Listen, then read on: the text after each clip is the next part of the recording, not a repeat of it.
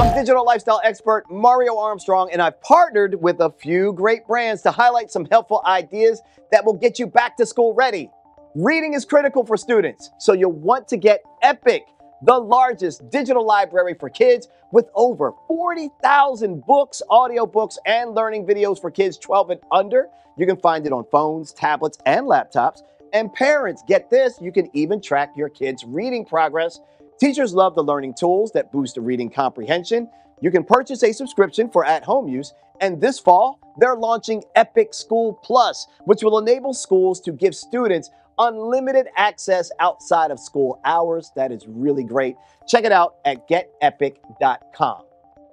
And for everything I covered today, including links, visit our website, inthenews.tv. Follow us on Instagram at inthenewstv, or just scan the QR code to find info right away. Now, have a great school year.